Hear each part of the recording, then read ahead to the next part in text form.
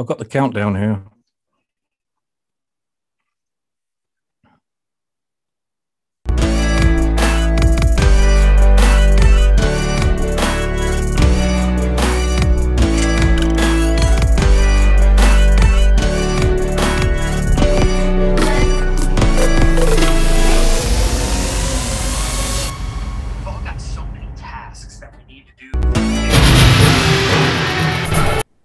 Whoa, we nearly got two intros there. Good evening, everybody. I hope this finds you absolutely superb. Oh, we nearly got two intros Oh, there. Good evening, Spud, everybody. can you turn the volume down on your device, mate? Yeah, I'm doing it now. Yeah, it's for some reason. it's okay. it's okay. Turn the volume down on your device, mate. Well, I So- knocked it off for this moment. Yeah. Start again. Uh, yes. I'm Chris Thrall. I'm a former Royal Marine, host of the Bought the T-shirt podcast. How about that for a bit of merchandise uh, promotion? Um, we had an absolutely brilliant premiere this week, and before I say anything more, check this out.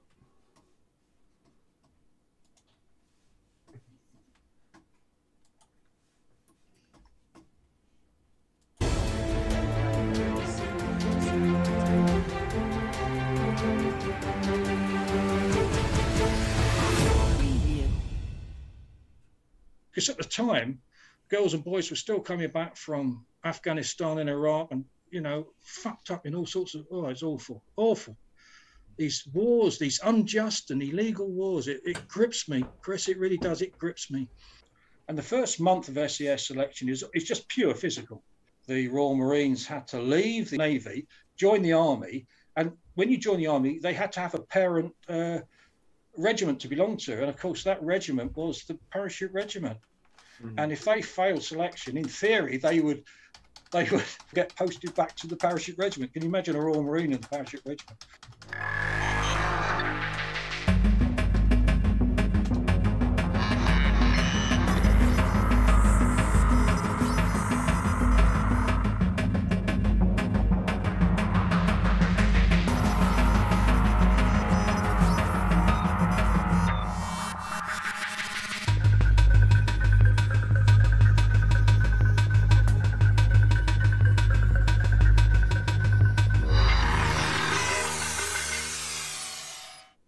Spud, is there something about Oh, being in the regiment that get- makes people stay around Hereford for their. Let's get that audio off. So, friends, it's my great pleasure to welcome to the live chat Nigel Spud, Ely, former parachute regiment, former um, special air, air service, uh, Falklands veteran. I could go on and on, but we're, we're going to obviously be talking for the next hour. So, Spud, absolutely brilliant to see you again, mate. Yeah, likewise. Thanks for for the invite, Chris. Appreciate it. Oh, it's my pleasure. Um, I'll be honest. I I was quite uh, touched, I suppose you could say, by the feedback we had from our podcast, mate. It was absolutely unbelievable. Um, Just so many comments. Well, actually, there were so many saying it was it was the best podcast they've seen. So, certainly on my Wow. cha- my Wow. channel. So um, there you go. Wow, that's incredible. Well, thanks everyone that uh, put a comment up, good or bad. Yeah, no, they were all good. There were there were no uh, absolutely no bad ones at all. Which um, I can't say that for all my guests. it's uh, that's Yeah. that's the nature of YouTube. But um, has anyone got in touch with you to say that they watched it? Um, I've had a uh, I've had a few uh, emails. They've obviously got through um, my website, uh, asking questions about the film, um, kind of saying that they really enjoyed it and they wanted they wanted more of the sort of goose green. Um, and I sort of have to say to them that you know I've got a book coming out next year, and and the film is going into pre-production end of this summer. So it should have been should have been in post-production now, but we've had COVID, so um, so I've had to sort of keep a lot of things under wraps. But yeah, it's, I mean, it's really humbling to know that uh, people are interested in the subject. Um, you know, I mean, I'm, I'm really, really pleased. Yes. Well, you speak very well, mate, which made made my job easy, and it's actually it's actually funny with the podcasting. Um, I do different kinds, Spud. You know, so Yeah. if I'm talking to a mate that I that I know that we maybe chat on the internet, you know, a couple of times a week or whatever, especially in the current climate, and let's not let's not say any buzzwords, but everyone knows what I'm on about. Um, there's certainly certain people are more enlightened as to what's going on than others. And if I'm chatting with one of those guys, like I did Mike McCarthy the other day, I'll talk a lot because it's it's a chat between mates, right? It, it's Sure. it's um, sometimes you have to chat or chip in when the guest is kind of going off. they're, they're kind of veering off the topic, or they're they're saying it in a way that we're just going to lose lo- lo- loads Yeah. of people. They won't follow what we're saying. But when we we chatted, I was just it was a delight to just sit back and, and listen to your story. Well, you just let me waffle on, didn't you? I mean, I couldn't believe that uh, you were hardly going to edit it. That sort of scared me a bit, but uh, it was about a, an hour and a half or something like that. Um, so eh, I can't believe you didn't edit it. Uh, but there you go. That's uh, um, No, a, a that's what story. it is. You like it. You like it raw, so th- that's great. And your audience, obviously, and your subscribers like it raw too. So um, well, that's the, probably the way to go then this evening. Yeah, um, I don't generally edit the podcast, Spud. It's it's only if there's a technical issue, and I think we had one or two during ours with my my Zoom going down. Yeah. Um, yeah. Um, but no, I like they call it. I think they call it long form, which is just a chat, and it and it starts here and it ends there. Um, Yeah. if maybe I don't know, let's just say you. Sometimes I'm I'm too much effing and blinding. I might I might edit some of tho- those out. Just, Yeah, yeah. just, just Yeah, to sure. not not upset too many people. But it's it's like I say, these stories need to be. Um, they need to be down for the record. You know, would you agree? Yeah, yeah. Um, well, I, I've spent the last two years uh, traveling around the UK, interviewing um, for, for my for my latest book, Goose Green Uncensored Voices, and it's not just about the guys in Goose Green Two Para. It revolves around everybody, civilians as well, around Two Para, and it's not the blood and guts story. It's the stories behind the scenes, that that that, that emotional side. Um, where the guys are loading up the ammunition, for example, way back at sort of uh, B echelon, and um, they're hearing about their mates getting killed or injured.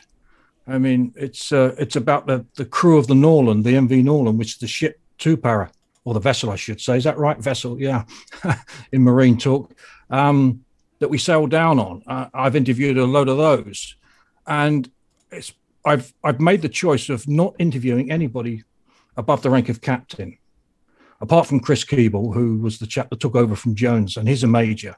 So I kind of I think that gives it the grittiness, the rawness, and I've tried to keep the the tales and the vignettes in the vernacular. I've tried to rather than sort of make it nice and smooth. It's it is pretty raw. It's pretty raw interviewing, and um, I out of over a hundred stories and tales I've got, I've interviewed eighty six guys, face to face. Three have had written testimonials sent in, but I've spoke to them over the phone and spoke to them at face to face about them. Um, and there's only three or four which I haven't actually seen the people, but they've sent me in their testimonial or their little story purely because they live the other side of the world. And um, yeah, so I think that's it's going to be a type of book where you'd be able to pick it up and put it down pretty quick because they're very short stories 50, 50 words. I think the longest is is about 750, which for anybody that doesn't know, that's probably about two and a half pages of a normal book. But generally, they're about 50. And I've kept them in chronological order. So the reader will know where he or she is if they have to stop for whatever reason. I mean, it's not it's not in long, long chapters either. But it's a but it's a big book. I'm hoping it's going to be about 150 pages, which is qu- quite a monster, really. What's the what's the title going to be, mate? Goose Green, Uncensored Voices. Okay, and do you have Yeah. a do you have any idea of a rough release date? Well, the 40th anniversary, my God, 28th of May next year. So publishers will probably get it get it together about April, I suppose. I mean, they're doing the jacket now. Um, Is it So- um is it voices of the Paras that fought at Goose Green, or or, or is it is is there Argentine voices, or, or how does that work? no, no, it's um, it's it's anybody. For example, I had a, a farmer friend of mine when he was a he was at college. Uh, he's given me a little story when he heard about Goose Green. It's purely about Goose Green. Um, as I say, I've got the crew. It's um, yeah, it's it's not. It, we're not having any Argentines there. I, I mean, I I want to keep it within. You know, what a British. I, I mean, there's a lot of veterans that still aren't over it. You know, um, and uh, I mean, I remember my uncle back in the 70s. I mean, he was a prisoner of war, Japanese, and he would never buy anything Japanese. And that's when the motorbikes and the cars started to come over in the early 70s. And he was just, abs- I remember him even now, he was just so angry. Um, so you're talking the same sort of period. There's a lot of veterans that um, want they want to do this sort of reconciliation business with the Argies, and that's fine, and that's really good as well. Um, but uh, for me and for a lot of the guys, especially within the Paras, I, I don't think. Uh, well, mind you, I can't talk to all of them can I, for everybody, but certainly for me. But I will say, in the last World Cup in 2019, I did support Argentina over France. So, you know, so I don't. My grievances are, are slightly probably displaced. But uh, yeah, I supported the Argies over the French. I watched one of those um, brilliant Diego Maradona documentaries the other day. I, I can't remember off my head if it's the latest one or the one before, but um, it was when he was playing in, in Italy. And he becomes such a legend there, absolutely loved and adored. And, and when the World Cup came around, he had to play for Argentina. Was it was it against Italy in the actual stadium that he bloody played in? And it it just it's Mm, um yeah, the, the it, it, it's very strange. Something like that, which to a rational person would be, well, the guy's got to play for his country, isn't he? You know, you got to play football Yeah. for your country. That that, that it's uh, it's an honour. It's an amazing chance, and um, God, he got absolutely just hated for it. He was public. did he? Yeah. Yeah, public enemy number one. I'm just. I mean, I when was the hand of God? Was that in the '83? Was on '83 World Cup? I do recall something, or a bit probably a bit later. yeah. He always said that was for the Malvinas. You know that hand of God. Um, but uh, I, I look. I, I mean, I've been to the islands. I've returned, and I've interviewed the. Um, I've interviewed people. There were 119 hostages held in the in the community centre at Goose Green. I mean, they were held in absolutely squalid conditions for three weeks. I mean, absolutely terrible. One lad, Denzel, was pulled out and actually beaten to shit. I mean, it's absolutely disgraceful. And there was a baby there of, of a few months old as well. Um, so that side of it was uh, the sort of officer side of it was awful. They, they shouldn't have done that. And uh, How, you know, s- s- sorry, how did know. that come? How did that come around, Spud? Who, What, the- who- what? Who, who was Denzel? Uh, Denzel is a Falkland Islander, and um, because they were pushed into the community centre, 119 of them, for Christ's sakes, it's, it's not a big community centre. Um, he had to go out and get some uh, nappies uh, for, for the baby and get some food and stuff. And what happened was there was uh, he went to a house that there was a radio ham that had a radio there, one of these. Uh, um, what do they call them? You know, like uh, a, radio ham. Yeah, radio enthusiast for our, for our younger yeah. people. So he had one of these radios there, and uh, the Argie that was with him, obviously he had he had a prisoner escort, and um, just happened to see this radio, and then then it all kicked off from there. They thought he was going to use the radio, so they beat shit out of him. and he, you know when I when I interviewed Denzel, bless him, um, you know he was really shaking and still suffers from it. But equally, that some of the the um, the the goose green settlers down there in um, that were captured, one lady said to me, and I- you know, she said they were absolutely worse than Nazis, and they hate them. Th- th- There is such a hatred for them. It's it's it's it's it's you know, it's quite obvious. It is. Yeah, it's a funny thing, mate, isn't it? I, I've seen some of the videos where, for example, when the pilot get ends up in the drink and the landing craft guy goes and rescues him, or or maybe it's the hmm. guy that shot him down or whatever, but they they meet up in in later life. You know, obviously we're talking 20, 30 years, probably twenty years after Sure. the event, and they become Yeah. they become um, I don't know what you call it, but bond, bonded by war. And then to, Yeah. the, to the other side of the coin, when I um, chatted with Major Andy Shaw, Royal Marines, who had a massive battle with, with PTSD after his Falklands experience. He was involved in a in a blue on blue, um, and I think four four chaps four chaps were shot dead, um, and a few injured under under his fire orders, right, to, to initiate this ambush. He's an absolutely wonderful, wonderful guy, really lovely Yeah. man.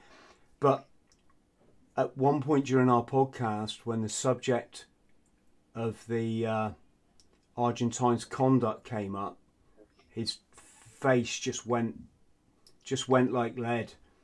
Um, Sorry, when, when he's con when he's when he's what do you mean when his conduct came up? Um, when, when we were discussing the Argentines' conduct on Oh, I'm sorry. Yeah, in the on the Falklands, about your about the chap that was in the LSL that rescued the pilot. yeah, not that. Um, what I'm sorry, Spy, I'll start again.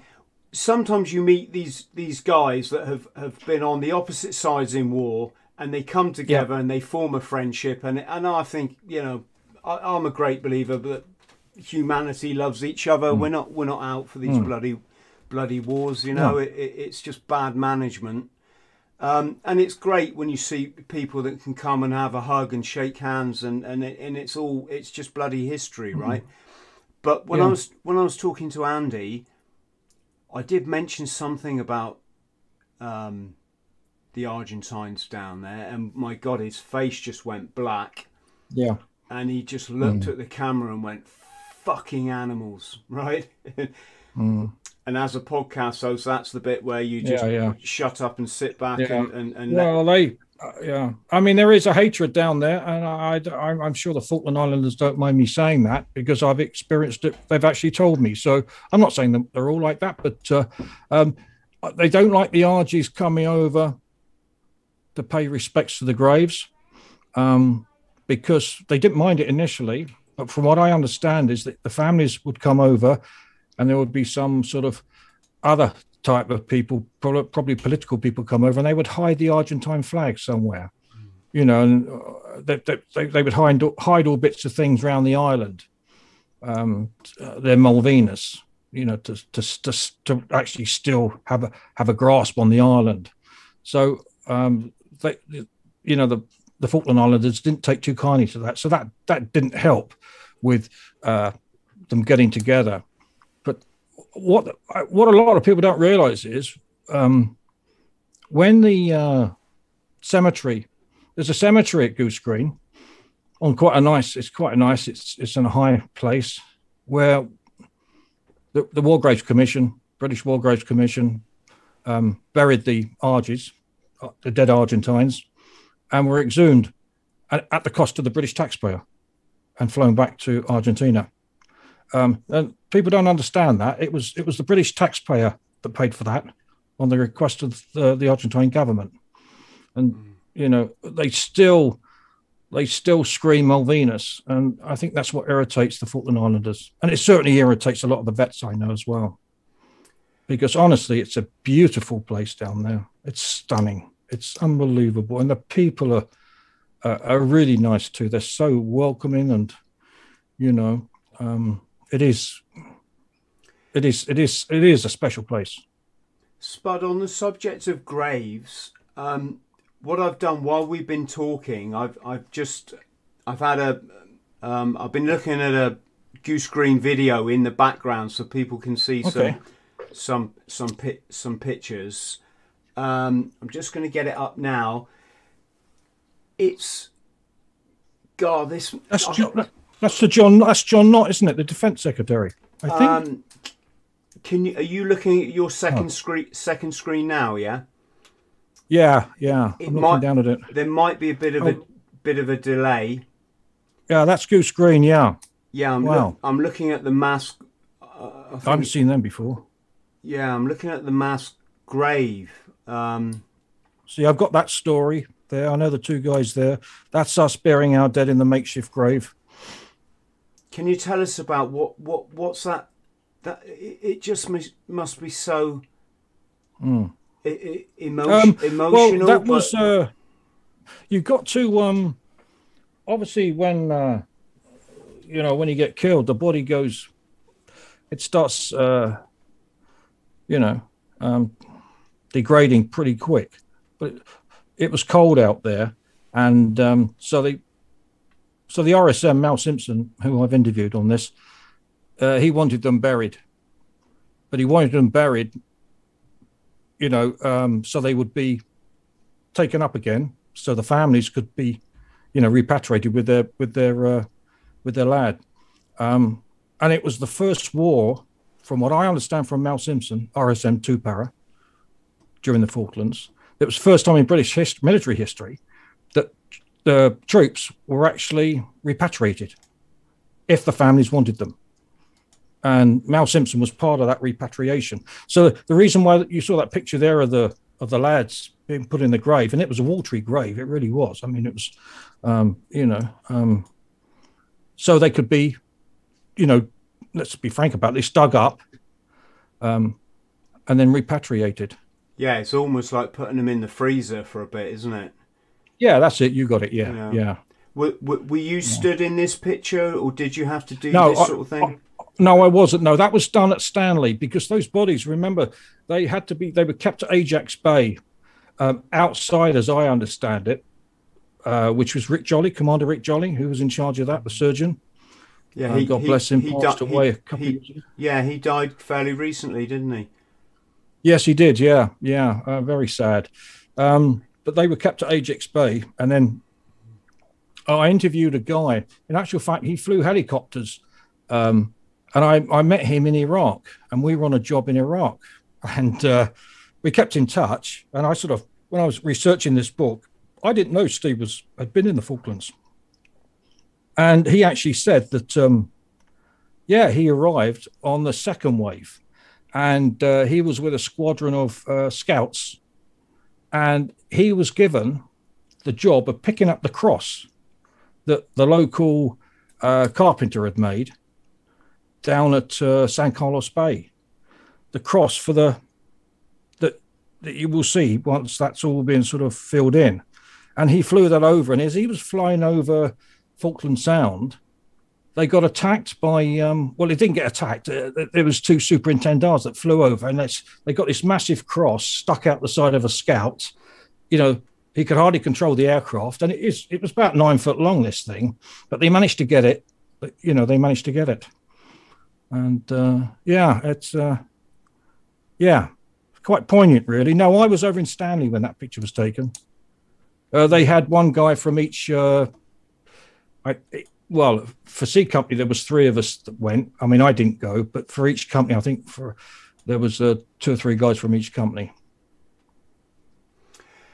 One, um, I just want to clear something up. Lee, in the chat is asking, "Hello, Lee. Thanks for joining us, mate." Um, he's saying, "Didn't Denzel lose a leg?"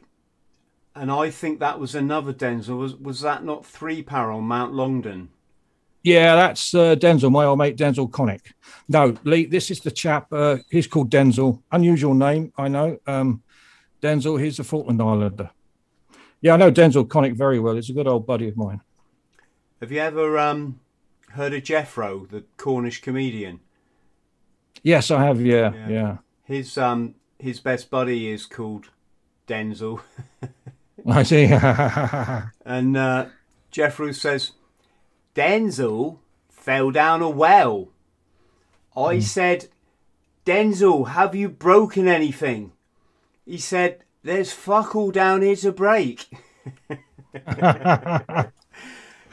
Yeah, Yes. I've actually interviewed Denzel Connick for for, for uh, Goose Green Uncensored, Uncensored Voices too, purely because of his three para. I wanted his story about when he heard about the victory at Goose Green, because I mean they, along with the Marines, had that horrendous tab. I mean they tabbed from from Blue Beach wherever they. I think they were at Blue Beach, Green Beach, weren't they? They tabbed right across. I mean, amazing. We were quite lucky, really. We we, we got helicoptered halfway after the Battle of Goose Green. Yeah, so I'm look I'm looking at, at a shot now, Spud, of the aftermath of the battle, with all all the the the gorses on fire or the heather, whatever hmm. it is. Um, Yeah, gorse, th- yeah. There's equipment everywhere. Um, there's there's pock marks all, all over the ground from I'm guessing armaments. mm. What what what is that feeling? What's it like to stand in amongst that? Um, I, I, as I mentioned on the last uh, podcast we did, it was when I moved forward through to A Company's position and I saw the initial carnage on Darwin Hill, which was the position where Colonel Jones got killed. And uh, yeah, the White Phos had set that gorse on fire. I mean, that's white phosphorus grenades for people out there um, that just basically had fuse instantaneous, and they set the, they set the gorse on fire. Uh, we had it as we advanced down into Goose Green too, um, but because they were throwing more shit at us than what we had to throw at them, I mean, most of those holes are Argentinians. I mean, they just well, you've seen the amount of ammunition they had on those pictures you just put up earlier. Yeah, that was a D company position. D company were, as I said, were over to my right. Okay, and they had just taken out a position there. Um, they were then, if, if you're looking at that photo right now, the airfield is ahead of them. I mean, behind them.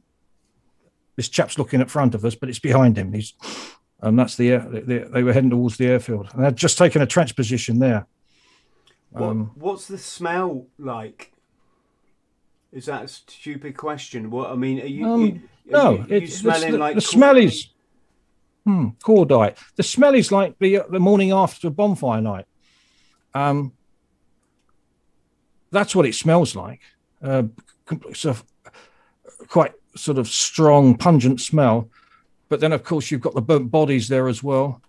You've got all the mucus, and the, you've got the expended shell dressings that people have been trying to patch the casualties up.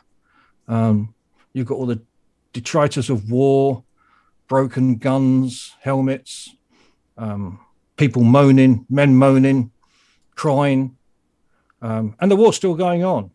So you just got to go through that. Um, and of course, it, it's constant. Two para were under run of the cosh for 14 hours. I mean, it was it was quite a horrendous battle. They say it was the the biggest, bloodiest battle the British Army's fought of modern times. Hmm. You know, we had there was a battalion of about I think battalion strength was about 600, but I think by the time we got there, with all the ups and debts that were all detached all over the place, we were probably down to about 400. Now, somebody may correct me, within that 400, you had an element of stretcher bearers, medics, you know, mortars, machine guns.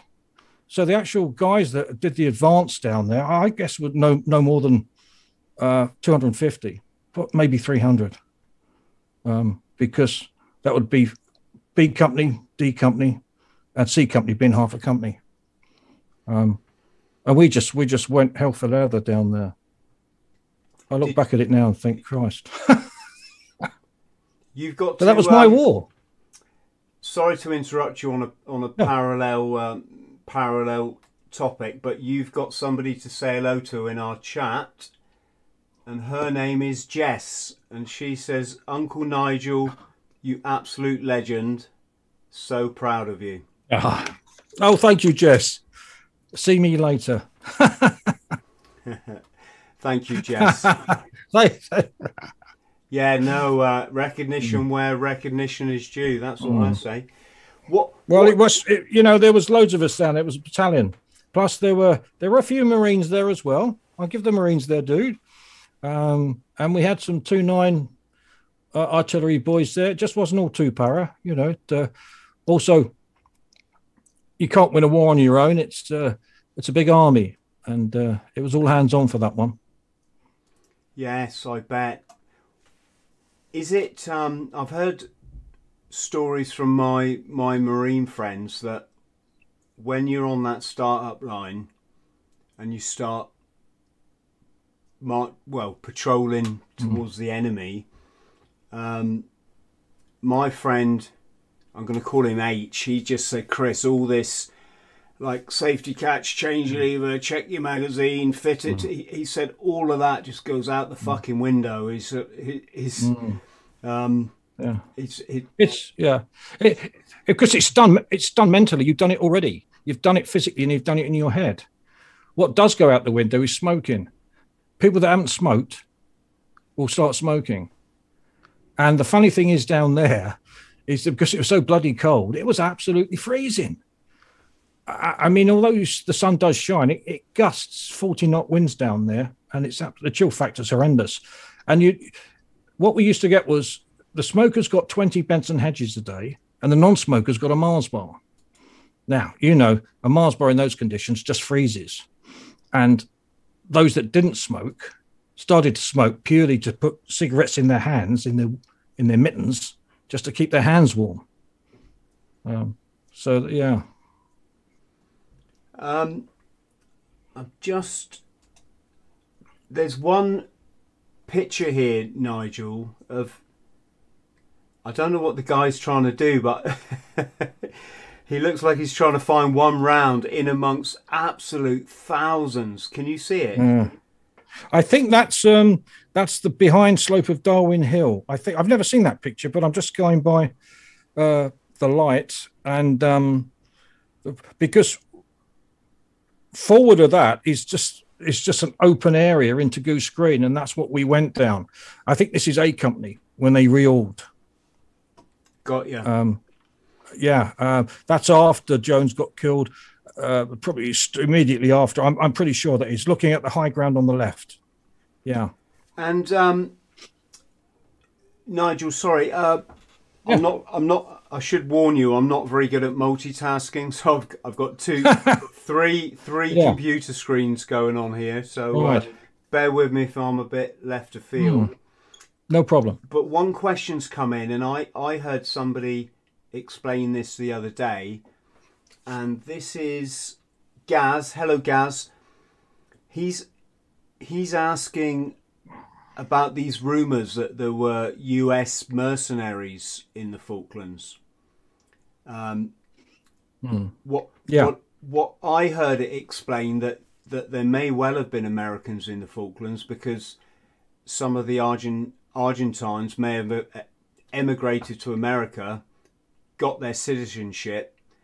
Then when the um, this all kicked off, they then went went and signed up, or they wanted to fight for for Argentina. Yeah. Um, eh, that's an interesting question. Um, yeah, you're right. A lot of them would have the American accent speaking English because they went off to do education over there. But uh, during the research of, of my book, um, and I won't say too much, I've I've I've come, I've had it collaborated through several guys that were there, that there were non-American mercenaries there. Um, that's all I want to say on that at the moment. But yeah, it shocked me. I never, I never experienced it at Goose Green, at Wireless Ridge, and certainly amongst the prisoners, the prisoner handling handling in Stanley. Certainly at Goose Green, from two very good sources, very respectable soldiers. Um, yeah, Yeah, yeah. It seems like a bit of a, you know, a hot potato, hot potato that Yeah. Spud, Yeah. did you did you guys wear your berets when you when you fought the battle? No, the only um, the, the only unit to wear the berets was uh, from C Company, which were the patrols, because they were out.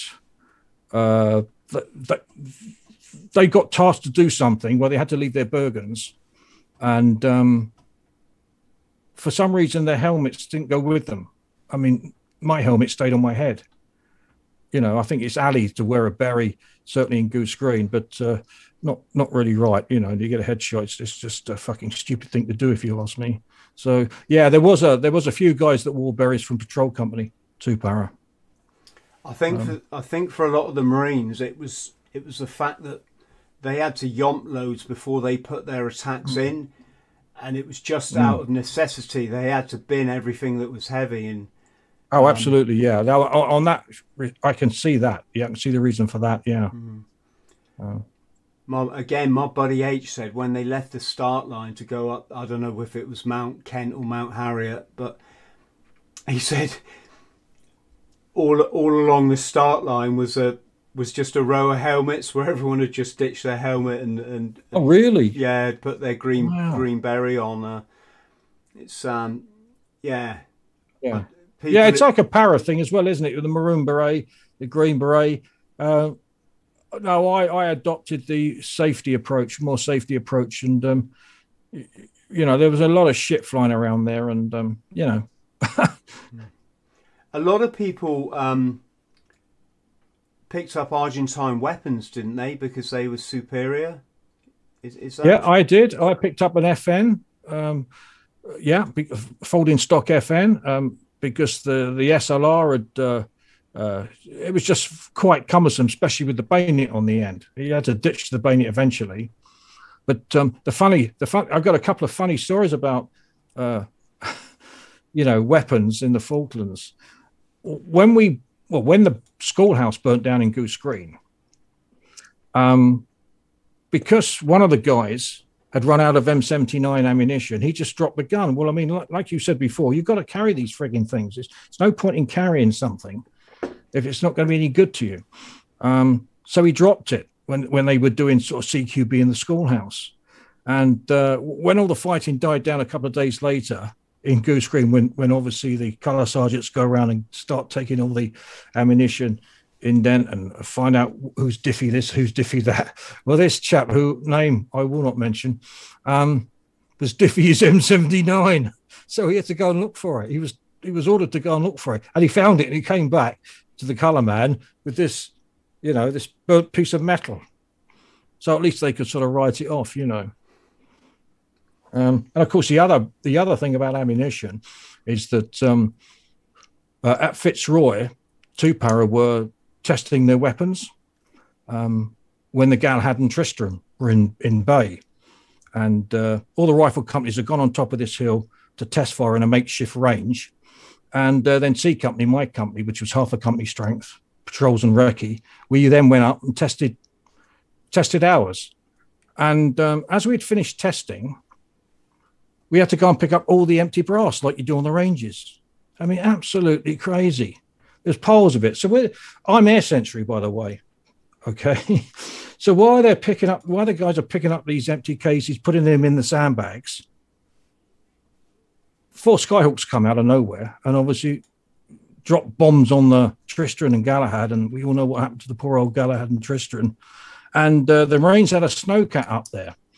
And we were piling in the ammunition, these empty cases in the in the sandbags in the back of this snowcat. Then all of a sudden, it was like, right, get the ammunition, get all those empty cases out the back of the snowcat, and we took the snowcat down to the beach to pick up the wounded. Um, years and years later, when I did my return trip, I found that pile of empty cases. The sandbag had been blown, but the pile of empty cases was still there. It was a huge pile and they'd all been they'd all been bleached brown. So Wow. that was quite, you know. What what what was it like for you go, going back then? And what what year did you go back? I went back. I went back in uh, uh, another coincidence. I went back with uh, um, uh, Julian Thompson, brigadier at the time, to do a, and with Max Hastings to do a uh, a, a documentary. Max Hastings goes back to wars, and I was just, I was sort of the grunt there just to give a sort of Tom's view, you know, and um, that was, well, we flew back. uh, We flew back out of Stanley into Brize Norton, and as we were flying, the general, Julian at the time, uh, the brigadier, he's general now, um, was called forward to the cockpit of this RAF TriStar or whatever it was we were flying in. He came back and said to me, Spud, don't tell anyone else. Don't tell anyone else, Spud. But there seems to be an incident in New York, which was 9 11. And don't be surprised when we land, we'll have jet fighters around us. And we had jet fighters as an escort into Brize Norton. And I said to him, bloody hell, General, I said, the fucking scary thing about this is we'll have the RAF running around with bloody ammunition and weapons. so that was that. Yeah. But going, but going, sorry, going back to that pile of ammunition at uh, Fitzroy with the Tristan and the Galahad. I'm not really knocking the officer, but yes, I am. Yeah, I am. Um, he he he'd, he'd switched off, and he was back in Aldershot mode on the ranges. You know, right? Pick up the empty brass. I mean, we're at fucking war. I mean, there's bombs being dropped. Okay, it was a quiet period, but I mean, the ships were still being bombed. People were still being killed you know, ordnance was being expended. Uh, and there we were in the middle of this, on the middle of this hill, picking up these empty brass. And we'd just done Goose Green, and we're going to go off and do Wireless Ridge. It just seems so inane um, because the officer lad at the time probably couldn't get his head out of, you know, the training mode. Probably a safety valve or something. I'm not sure. Got you. Things you learn in life, isn't it, as you go on? Yes. It was a standing joke in the Marines that when we used to have to pick up the brass on the range, the Falklands veteran would go, You should have seen how it was after the Falklands. So we always just thought that it was all it was all left, but yes. Yeah. Um I don't know. Spud, what I'm just conscious that we've had some very fine questions sent to us. Okay. Um, we should cover Oh, there's them. me. There's a picture of me there. Did you see me there? I've In got that you, picture. Yeah, I've got you up with all your. Um, That's at that, that that's at Fitzroy. That's at Fitzroy. That Oh. was a day or so after the uh, the the um the ships got bombed. okay. a wi- Hmm. Um, That's now now Al Nasiriyah. That was the day after we got uh, attacked by Fedayeen in in uh, Baghdad, uh, Iraq. Sorry. is that the one with the, Uh, chop, the chopper in the background? Yeah, that's uh, that's uh, uh, uh, uh, that's Al Nasiriyah, which was the biggest biggest battle in the Gulf War Two, the Iraq War. I just happened to be there with the Royal Marine, uh, with the uh, U.S. Marines. Yeah, sorry, we've got a bit of a. De- there's always a bit of a delay with the with the YouTube Hmm. stuff, so it's it's it's a bit annoying that you're probably looking at photos that I've I've I've gone past. Um, right. Well, I'm looking at three guys, me in the red, in the middle. Yep. Okay. We're going to get back to this one. No, I That, don't, that, that was to, a, that was upon your return, wasn't it? that was on the uh, film recce trip, nine, uh, 2017, when Oh, we went down to do a recce for the film Goose Green. Um, that's myself in the middle. To the left is Stu Cardy, two paravet, and to the right is General General Chip Chapman, who was uh, a young officer uh, for uh, Six Platoon B Company. Done really well. Wow. Done really well as a really young officer, and now he's a gen- retired general. Cracking, cracking guy. Both two really great guys. Yes. So Spuds, sorry, I'm just going to go to the, Hmm. que- uh, the questions. Yeah. One Crack. Let me just move my screen around a bit. Uh, bum, bum, bum. Um, so, just w- w- I'd whip through these quite quickly, mate. Otherwise, Yeah, we, we could okay. be we could be Yeah, here yeah. all night. But we've got A- Alfie is asking, what was the killing house killing house like? What was it like? Yeah, the killing house. Noisy when I was in there. Noisy, very noisy when I was in there. Where your Amplivox, your ear, your ear defenders? Yeah, um, yeah. It's basic, basically a. Sorry, go on. No, or I was going to ask the um, the time honoured question: Is it really your your instructor sits in sits in the chair when when you burst through the doors or windows? Yeah, I've had. Yeah, yeah, absolutely, it is. I had the Queen and uh, the Duke of Edinburgh there. Um, in in one part of the Killing House, there's a there's a mock theatre, and um, I had to I had to ask the Queen and the Duke to move their heads because when the lights go down, basically the idea is it's all silent, and you just take the targets out in front. Yeah, and also, um, yeah, there are there are you know there are like there are living people in there. Yeah, I mean, you, Are you using, the level of the level of skill honestly the level of skill is unbelievable i mean i didn't think it i didn't think i could ever get to that level but you do you do that by firing 509 mil a day for a month you know you, you don't do that as a in in the in the army i doubt if you do it in the royal marines not nine millimeter um, but you do that through constant practice just becomes second nature then? Absolutely, it does. Yeah, it does. It everything's everything everything moves. You know, the weapon becomes an extension of your body, and um, and that's what it is. It becomes natural. It becomes so natural. I look back at it now and go, "Wow, that's just that's really fucked up." You know how natural it becomes. Um, yeah.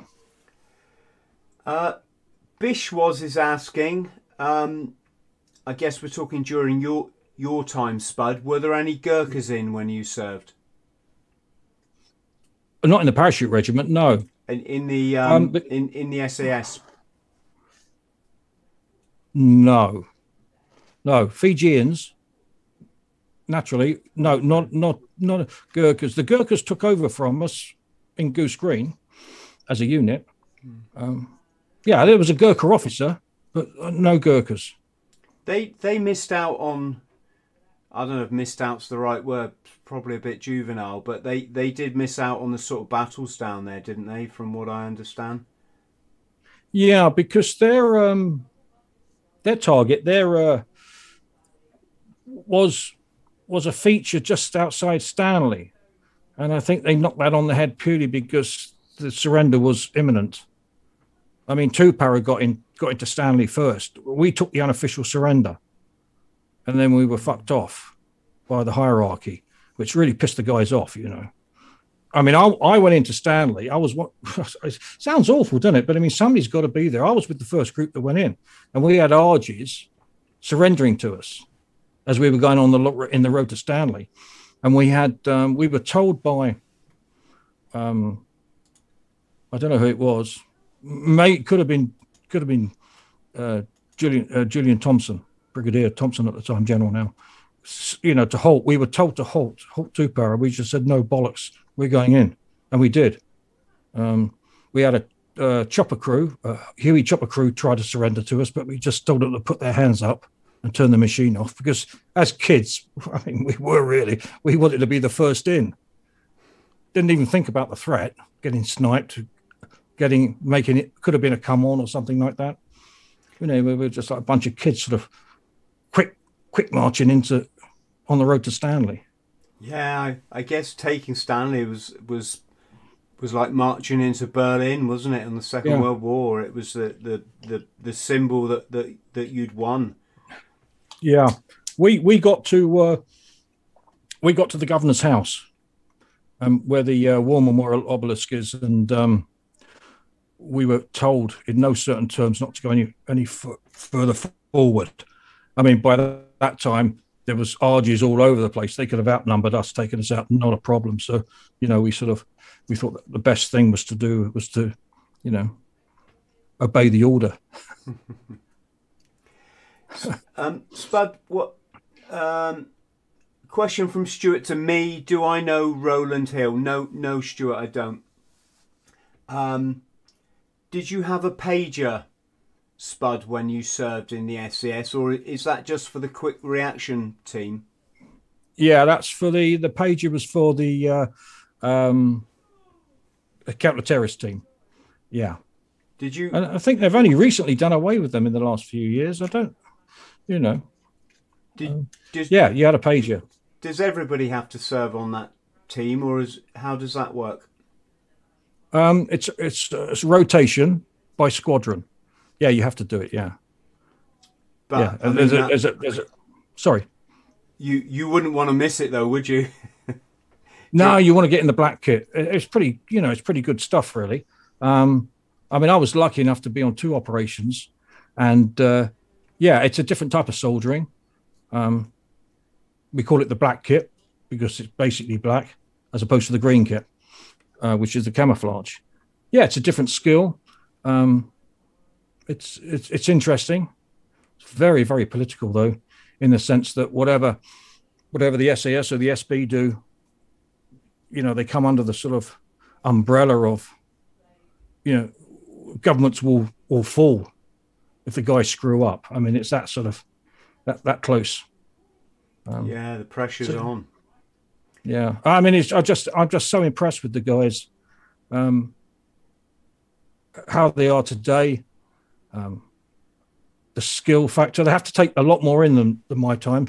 A lot more technical, a lot more technical stuff to be getting on with. More political shit as well, you know. And the lads and the girls, they have to take a lot more in than my day. My day was just Hollywood.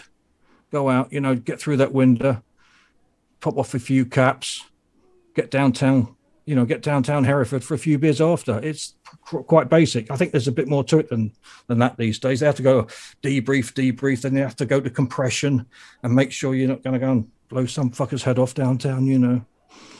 And you, it's all it's a bit of all sort of backslapping and stuff as well. I think, you know. Spud, can you see the picture that's up at the moment? It's you in your Yeah. your skydiving gear. Oh yeah, yeah. I've, Uh, I've just, Halo kit, yeah. yeah, You know, I've, I've just got to go and pay the piper. So could you tell our friends at home what what's going on in this picture and and how how do you prepare yourself for something like this?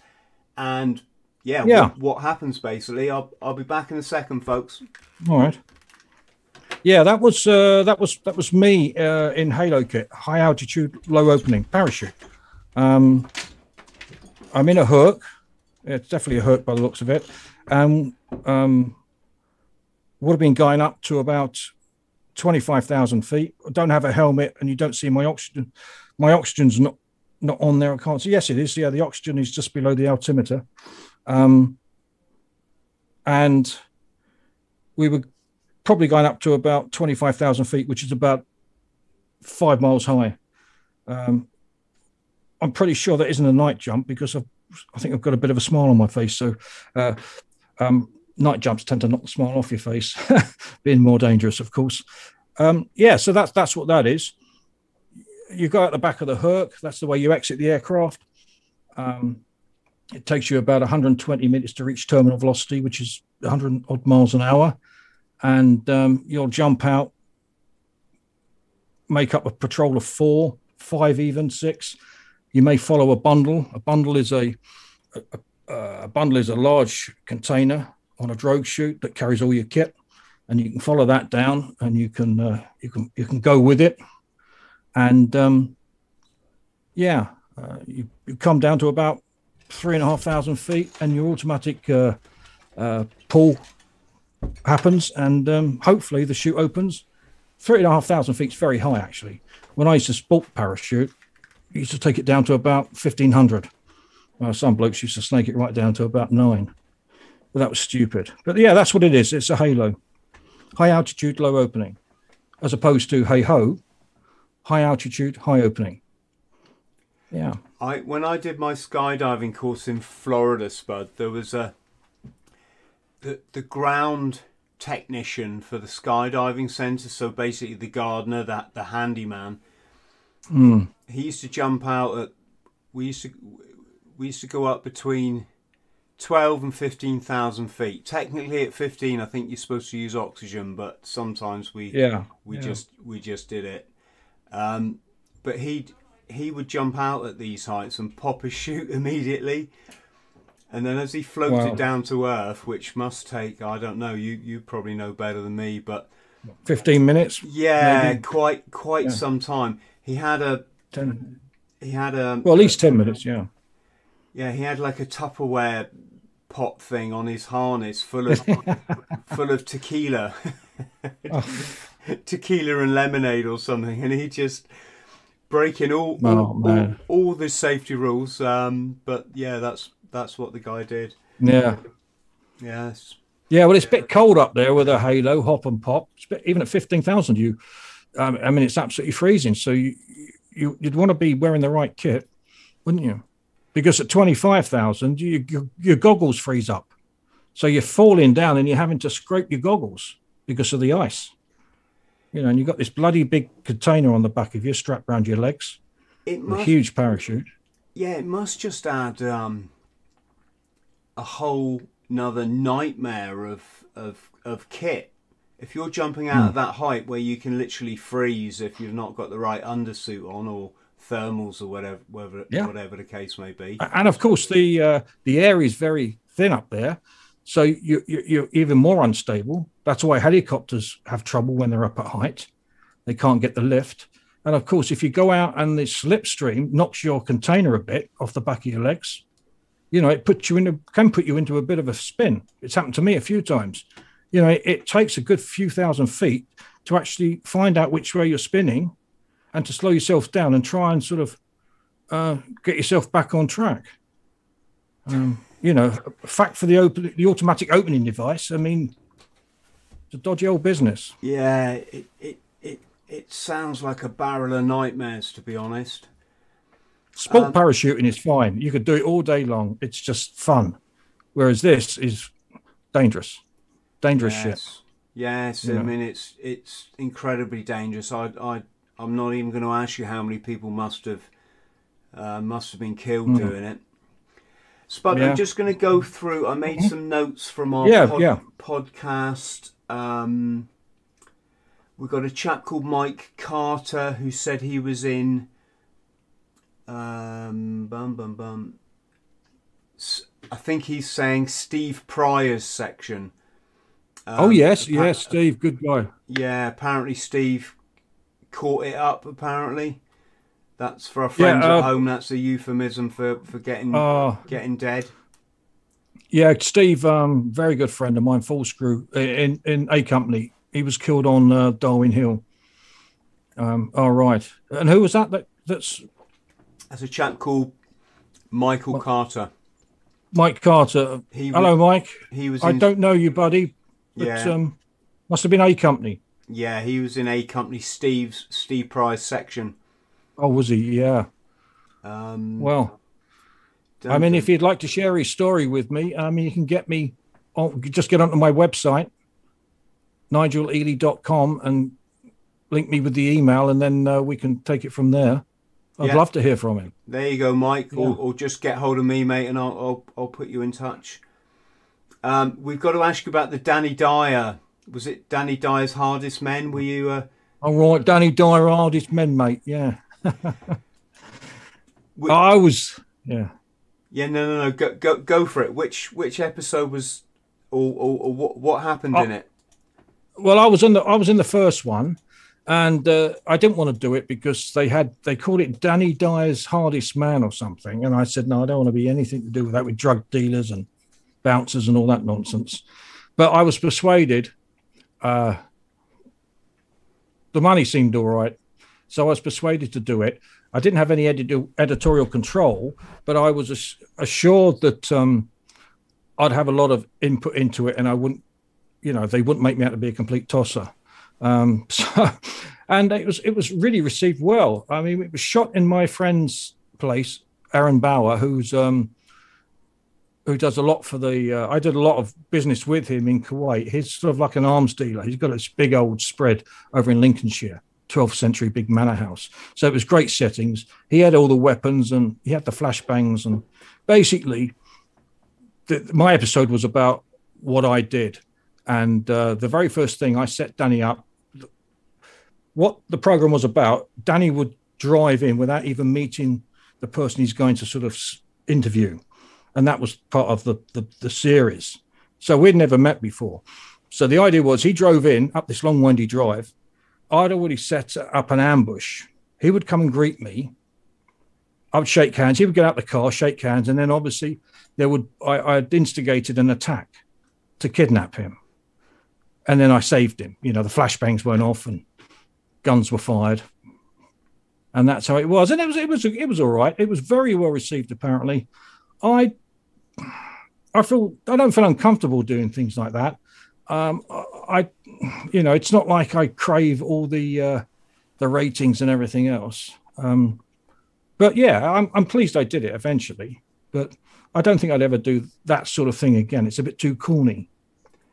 Yeah, I found it a disappointment because my money was on Danny for being a hard man, Mm. being a bit tasty, bit tasty, and then when there was that episode where he had to go and sleep out for the night, and he Oh yeah, you bottled it, he didn't he? Yeah. completely bottled it, and it was like, oh, Dan, come on, man.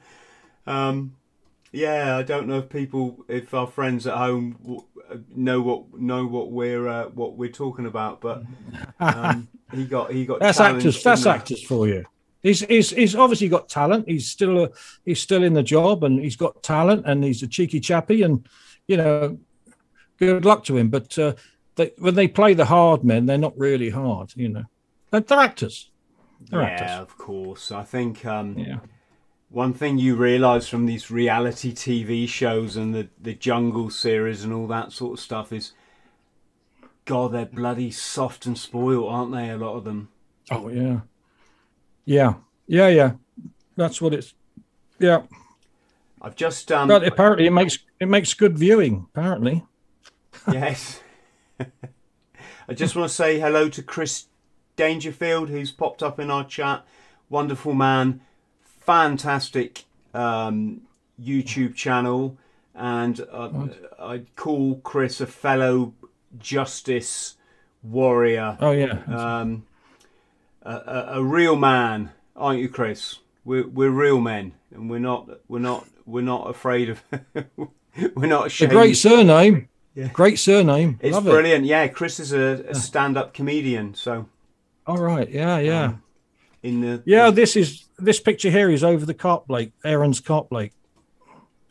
That's ah okay. me and, me and Danny Dyer. Yeah, You are looking seriously hard there, Spud. am I? you look like you're uh, you're turning into stone with your your graniteness.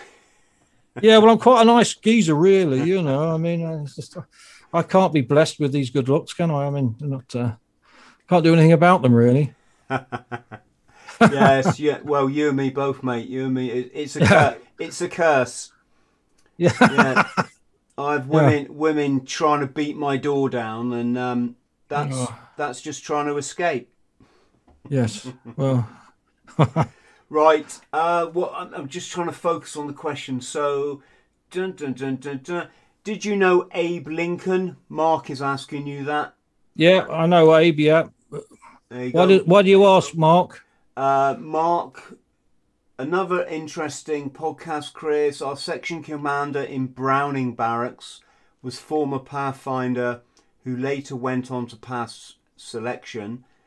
Could you ask Spud if he knows Abe Lincoln? He may do. He was a consummate. Yeah, I do. Yeah, know him very well. I served with Abe. He was in Recce with me down in the Falklands, Ah, and he came up to H. Yeah, I know him very well. small world, isn't it?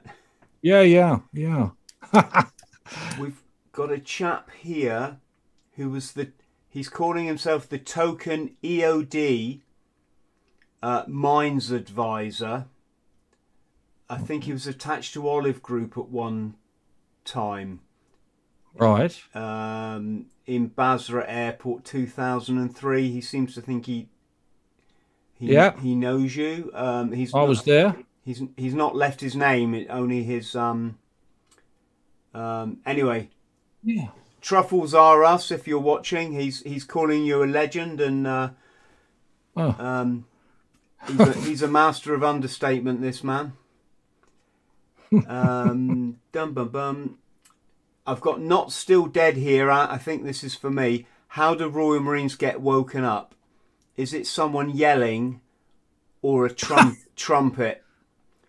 Um, put it this way: if someone yelled at you, they'd get the, you'd rush Yeah. out and get that trumpet and shove it up their ass. yeah, yeah, yeah. no, we don't have any of that stuff. Even in No. train, even in training, you just set an alarm and you get yourself up. The train team aren't going to get up at that time to to come and check T- check Chris, on you. t- tell me, is it when you're on parade as a Royal Marine? Is it true the inspecting officer has to tell you he's going to touch you before? Because there was some instant, go back in your history, that uh, some officer didn't say, "Excuse me, I'm just about to touch you," and this guy hit this Marine hit the officer. I don't know how true that is. Dave Slater told me that years ago. It it's it's quite possible. Um, there are all kinds of um, idiosyncratic rules in the navy. Um, For example, bootnecks we salute like this, whereas a matlow sailor salutes like this. And apparently, the the history behind that is the Marines are, well known for their hygiene, so they'd always wash their hands, whereas the sailors would have dirty hands Yeah. from you know cleaning up, fixing up the ship. So there's things like that. So you, yeah, you salute like uh, army, like the army, longest way up, shortest way down. Yeah, it's longest way up yeah. and then straight Shortest down. way down. Straight- Yeah, that's it. Yeah, yeah. Down. Or you can do what my mate did when he was going up the gangway on H when we were on HMS Invincible, and the captain came down the gangway, and Nigel was carrying his kit bag, his seaman's kit bag, on his right shoulder, so he couldn't let go of it. And the captain came down, so he went. he saluted, saluted with the other, other arm. I think that, that got Oh. a few people smiling. Crazy. Um, I've no- noticed a couple of people, Spud, asking, did you work in, they're calling it Spitalfields Market. yeah, I did. Yeah, yeah. That was the first job I had when I um, someone sent me a, I don't know whether it was an email or something on Facebook, and I, I tried to find it, uh, but I, I get so much, it's probably got lost in the sort of, you know, got lost. But yeah, I did. Yeah, I um, I worked up there for several months as a kid. Yeah, Wow. lovely place. I, I really enjoyed it. Full of proper people up there, proper people. That was Gavin, so thank you, Gavin. Um, okay. folks, I'm going to end the questions there. Otherwise, we're just going to go on all night. So let me hide that one. Um, I'm just going to check the chat, Spud, to see if anyone's asking us anything in the chat. So, massive thank you to everyone. Could you please give the video a like? And and also subscribe to the channel if you'd be so kind. Um, it's as I've said a couple of times now. Chats like this need to go down on the record. Um, this is people fa- f- people's family. This might mean the difference between a son who's never known his father because they were killed in the Falklands. Oh right, yeah, yeah, you know, yeah. it, it might mean the difference between they hear something about their dad that they that they they're never Sure. you know otherwise they're never going to know. So if everyone could please uh, um, like and support the channel, um, you'll be absolute legends. um, okay, last thing I'm going to do. Spud, and then you're you're out of here. Yeah. You've got your you've got your freedom. I've got my. I can catch the last half of uh, Sale and uh, Newcastle, the rugby. Oh, sorry about that. And friends, That's just right, to, mate. just to say, look what I've got. So we've got bought the t-shirt merchandise now. Have a look below the video. um, what was I going to do? I was going to show you. You probably won't be able to see this, Bud, because it the the delay's too much. Right. Um, I was just going to show the balloon jump. If we give it, oh a, God. yeah, if we give it a few Yeah. s- a few seconds, you, tell me on your screen when you can see the the helium balloon. Yeah. Oh, unbelievable. That's unbelievable. Can you can you? I don't know it? why. They, it's a no, not yet. It's a cheap. It's a cheap way of parachuting. I think. It's gone now. Now they Yeah, they yeah, don't do it. yeah now they use something called the Skyvan. Um, Oh, the aircraft. Yeah. yeah, so the mi- young paras and um, well anyone, whether bootnecks or whatever, getting airborne these days, they miss out on this. Oh, yeah. Well, the balloon really. The balloon really is the one. Yeah. Oh, it's, it was incredible, and I I was lucky enough to do. Oh, that's crazy. It's a crazy jump. Yeah, I, I was lucky enough to do two para courses. So or Wow. Yeah. um, or one and a half, I should say. So I, I got to do the balloon twice, which was amazing. Um, can you see it yet, Spud? Not yet. No, I probably think it's quite a long delay, but uh, I'll let you know. I'll keep an eye out for it. Yeah, Yeah. no, No, don't- incredible, incredible to do the balloon jump. I mean, it- it's incredible, isn't it, to do it, to have it Oh, as your first jump as well. it's Oh, it's a part of British military history. It's I mean it's it's Yeah. just an incredible experience that I real feel sorry for people now that they they're not going to get that. Um, also, it's almost like doing a base jump, isn't it? It's the- it, it's almost like the military equivalent of a base jump because you're, Yeah. you're jumping off a off a platform. Um, so uh, I mean, it's uh, it's the equivalent of flying in a Spitfire, isn't it? ah, You know, gosh, I mean, you could you, we could sort of do a little uh, have a little business like that with a couple of barrage balloons and cages. How many times you could go up each? Uh, you could probably go up a, a dozen times a day. I was really lucky, Spud. I, I I got to fly in actual Spitfire. Um, Wow. I will say my caveat is it was on the ground. It was uh, uh, what do they call them? The the mock-ups, the si- Oh, sim- right, yeah. simulator. Oh yes, Yeah. yeah. It was actually built from an actual Spitfire. Um, chap called Wow. Ri- Richard. Hello, Richard, if you're watching, uh, who was a fan of the podcast, invited me up to. Hmm. Uh, I can't even remember where where it was now. It was somewhere up country. Said, Chris, come and fly this Spitfire simulator. And as a as a pilot myself, it was so realistic. Oh, it right. was it oh was you, un- yeah. it was unreal. Wow. Can you see the I've just got you putting up your, your mug there. gosh? So We really that was after. That was after the video, wasn't it? So after we before we started talking about balloons and cages. what was what what was after, mate? You putting the mug up, Yeah, I put that up ages ago, didn't I? and then did you do the balloon? Because the balloon doesn't come up yet. Yeah, I've got the balloon up on the desktop now, so people can see Oh, okay, it might come up. Yeah. I'll tell you what I'm going to. yeah, do. we should. Yeah, I'm just we going to. we should do. Sorry, Spud. Yeah, I was going to say we should do. um we should do one about the book, writing a book as well. That might be quite good for your uh, subscribers. Well, let's Um, let's do another you, live. both you and I can do it, can we? Yeah, let's do another live spud because um, otherwise we don't want to go on too long because people who are not watching it now will look at Oh it. yeah, no, I don't mean on this. I don't mean on this segment. No. But definitely, definitely. Um, Gaz, I did two para courses, brother, because on the first para course, all the It's up now. Yeah. All the Hercules got sent out to the first Gulf conflict. So the para course was ended after the balloon jump.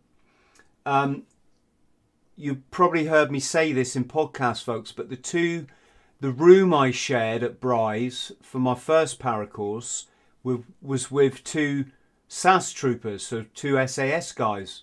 Really, really nice, um, nice chaps. I don't know if I'm allowed to say their names, so maybe I won't.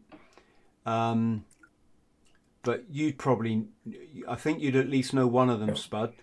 Yeah. And um, it was great. We were in the grot, which is the room, as we as us bootnecks call it, and they said, "Chris, do you know a chap called Bob Consiglio?" And I said, "I don't know him personally, but he's a sort of legend in the Marines because he was." We thought at the time he was the first guy to join the SAS instead of the SBS, right? Which All right. which meant back then you actually had to leave the navy, you leave the marines, join the army, and then actually, you know, so you you you risked your whole career basically by trying to join the SAS from the marines, and and Bob did it, hmm. and of course he was in the the ill-fated Bravo 20 patrol. And when I literally got home from that paracourse when it was cancelled, um, I went back to my old man's place and I put his telly on, and there was a, a coffin coming out of a church draped, draped with a Union Jack, and the news person says, Today the people of so and so buried the body of Trooper Bob Consiglio, right? of the 22nd S- SAS, the first Wow. first casualty of the Gulf War. Um, so you can imagine my jaw bloody drops, bud. you know. Incredible. Um, wow. I I went to see Bob last uh well last November. He's down in St Martin's. Went down to see him. He's down there with uh, the rest of the guys. Yeah. What in the in the is it the set the the the regiment cemetery? Well, it's the civilian church called St Martin's down by the old camp. Uh, Bob and all the guys are down there. Um, but at the new camp, they've got another. They've got another cemetery, Yeah, like a chapel. well. yeah, I'm yeah, gonna- yeah. I've got I've got a picture of the barrage balloon now. Yeah, Okay. unbelievable. Oh, that's crazy. Yeah, sorry, folks. I've just gone to a picture of Bob. Let me just take that down a sec. Uh, sorry, I'm getting myself all all all messed up, Spud. Somebody sent me a sent me a real eye-opening picture of Bob Consiglio the other day. Um, it was from the the Marines days. Oh, Right. hang on a second. We've frozen.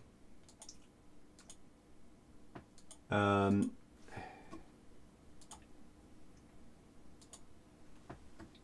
sorry, for some reason I, I froze there. Um, bear with us, folks. We're we're freezing up a bit here. Let's go back to the desktop. I was going to play you that clip, wasn't I? If I can find it. Yes, so Spud, I'm just going to play this. Um, Cool, bugger me, chaps. Bloody high here, isn't it? Right, Oh, okay. God. Into the door. Don't panic, mummy I've still got loves the you. barrage balloon. Right. I've got Don't you on the look right down. live. I said, don't look down. Um, Right. Don't worry about it. Put mate. your Hang on a arms across your bloody reserve. That's it, soldier. What is HelloFresh? Oh, and YouTube gave us YouTube HelloFresh. gave us adverts. Live- Hang on a second. I go online. Right in the middle of the balloon jump, YouTube put us on adverts. Wait, wait. oh. Yeah, sorry, Spud. I was just um, that's all right. I was just playing our friends at home uh, a clip of the balloon jump that I took. I've done a couple of podcasts on the paracourse because for me it was one of the best things I've ever done in my life. It certainly was one of the probably the best course in the military. Um, and so yeah, I've done a couple of podcasts about it, and uh, Wow. that was the legendary for friends at home. That was the legendary balloon jump you just saw, um, and it really, it really, is just just what it looks like. Oh. Um, Oh, it is crazy. Spud, listen, you've been an absolute legend yet again. Let's let's do this again another night, can we? Sure. Yeah, absolutely. Yeah. Um, I've got all this month to record my audio book, so you know it's not much fun for me. So this is this is fun. So um, just when you do your audio book, you're listening to your voice for six hours a day. It's crazy. It must be it must be excruciating. Yeah. Yeah. look, arrange, we'll arrange a date in the not too distant future, and uh, yeah, we'll crack on. definitely. Be great. Friends at home, um, don't forget check out Spud's books. I put a link below in the description that will take you take you to Amazon where you can go and grab grab yourself a copy. Um, Spud, once again, mate, massive thank you. Um, this has just been well, great great fun for me and uh, Yeah, it's a pleasure. deep deep insight into into Goose Green as well. So, Spud, don't. Um, uh, in fact, let me do it this way. Friends at home, massive love to you all. Please look after yourselves. If you could like and subscribe, leave a question for my next chat with Spud. Leave it below in the comments, and um, we'll see you next time. Spud, don't don't um, stay on the line, brother. Just you log off now because I'm going to Yeah. play play some outro stuff, and I'll I'll give you a bell Okay, Chris. tomorrow. Okay, Chris. Brilliant. Take care, buddy. Thank you, everyone. You Cheers, now. Spud. Thank you. Now, thank you, everyone. cheers. Hello, friend. I hope this finds you well. My name's Chris Thrall. I'm a former Royal Marines Commando. I fought my way back from chronic trauma and addiction to live, work, and travel in 80 countries across all seven continents, achieving all of my dreams and goals along the way. Now I pass my simple system on to other people, but I can only help you if you like and subscribe. So please do so because you get one life, and if you live it right, one is enough.